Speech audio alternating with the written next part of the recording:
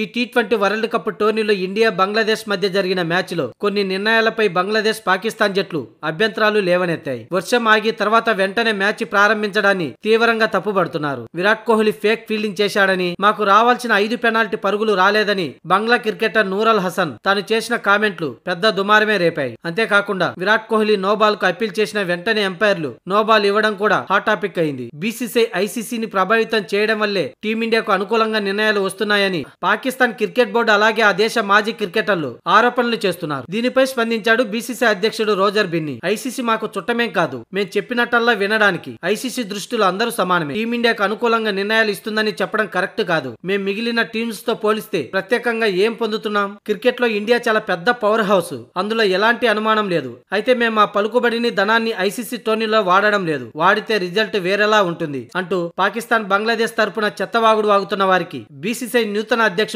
Roger Binny గట్టి warning ఇచ్చాడు. కాగా పాకిస్తాన్ బోర్డు పాకిస్తాన్ మాజీ ఆటగాళ్ళు ఇలా ప్రతి దానికి టీమిండియాపై అభ్యంతరాలు చెబుతూ ఆడు పోసుకుంటే మాత్రం పాకిస్తాన్తో ద్వైపాక్షిక సిరీస్లే కాదు. ఐసీసీ మెగా టోర్నీలలో కూడా పాకిస్తాన్తో మ్యాచ్లు ఆడకుండా నిషేధిస్తామని అప్పుడు ఆ దేశ బోర్డు అడుక్కునే పరిస్థితికి వస్తుందని అలాంటి స్థితికి తెచ్చుకోకుండా జాగ్రత్తగా ఉండాలంటూ బీసీసీఐలోని కీలక సభ్యులు పాకిస్తాన్కు వార్నింగ్ ఇస్తున్నారు. ఖబర్దార్ ఓవర్ ఎక్కువైందంటూ మిగతా బోర్డుల ముందు చులకనగా మాట్లాడితే లేని తప్పులను సృష్టిస్తే ఐసీసీ నుంచి వచ్చే నిధులు కూడా ఆపేస్తామని పరోక్షంగా బీసీసీ పెద్దలు పాకిస్తాన్ బోర్డుకు వార్నింగ్ ఇస్తున్నారు.